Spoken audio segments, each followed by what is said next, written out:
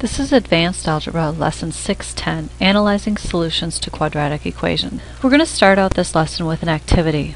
I want you first to graph each quadratic equation in the table found below and record the number of x-intercepts. The second thing I want you to do is solve each equation using the quadratic formula and record how many of the solutions are real.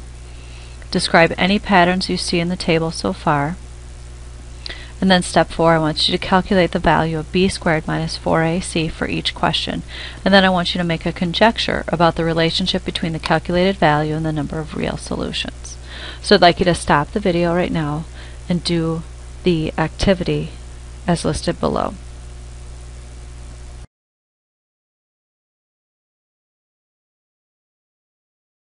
So some patterns that you may have seen when you worked through this is when you didn't have any x-intercepts, so we had zero x-intercepts, our value was negative. We had two x-intercepts when our value was positive. And I had only one x-intercept when my value for b squared minus 4ac was zero. This value of b squared minus 4ac is called the discriminant. We alluded to it before in one of your previous lessons. The discriminant can be used to determine what kind of solution your equation will have. Will you have complex solutions? Will you have real solutions? Will you have one solution, two solutions? How many solutions will you have? The discriminant can help you with that. So when we use the quadratic formula, we have this value underneath the radical, which is b squared minus 4ac. So what happens underneath this radical determines what what's going to end up in my solution, what my solution is going to end up as. So let's take a look at what happens when I graph a quadratic that has a value under the radical that is positive. So that means our discriminant is b squared minus 4ac.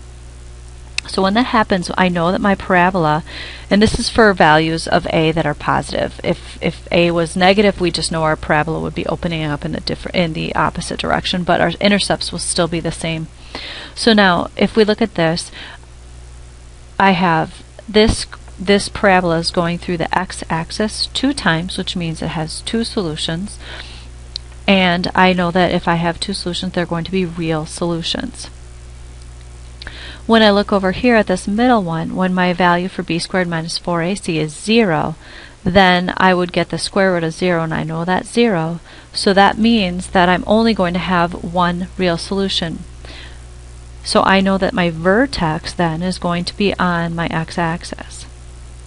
Now, if b squared minus 4ac is negative, that means I'm going to get an imaginary number, which means I will have solutions. They just will not be real. That means they will not intersect the x-axis.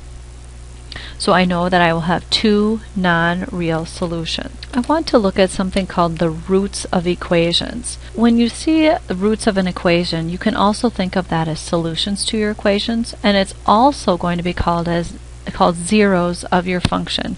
All three of those will be interchanged. And we use the discriminant theorem to kind of organize the information that we found above in those three different scenarios with the graphs. So, the first situation. Suppose a, b, and c are real numbers with a not equal to 0. Then the equation ax squared plus bx plus c equals 0 has two real solutions if your discriminant b squared minus 4ac is greater than 0.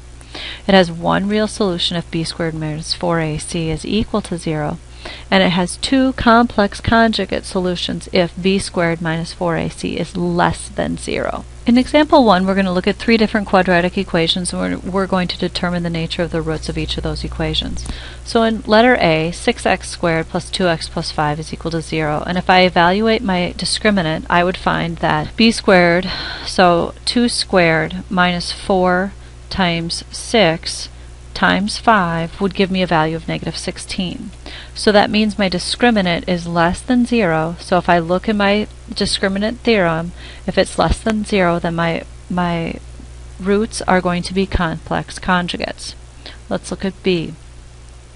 Insert negative 12 for B, 9 for A, and 4 for C. So negative 12 squared minus 4 times 9 times 4 gives me a value of 0.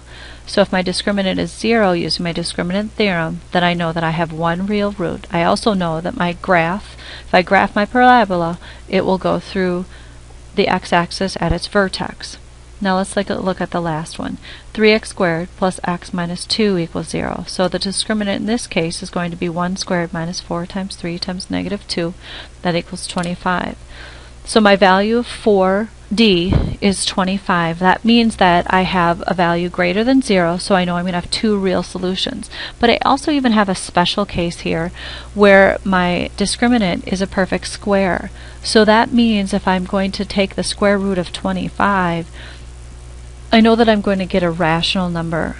So that means that not only do I have two real roots, but I also have two real roots that are rational. Let's look at an example now that would model a, a real world situation. So we have the equation h equals negative 0.4x squared plus 2x plus 2, and it models the path of a ball where x is the horizontal distance in feet that the ball has traveled, and h is the ball's height in feet above the ground. Use the discriminant theorem to determine whether the ball ever reaches a height of 4 feet. So we can go ahead and set our equation equal to 4, so 4 equals negative 0.4x squared plus 2x plus 2 has real values of x, then the ball will reach 4 feet. So if I use the discriminant on that, that would be 2 squared minus 4 times negative 0.4 times negative 2, that would be 0.8. So 0.8 is greater than 0, so that means the discriminant is positive, so there are going to be two real solutions to this equation. So the ball will reach a height of 4 feet two times in this situation. This is the end of chapter 10 or chapter 6 lesson 610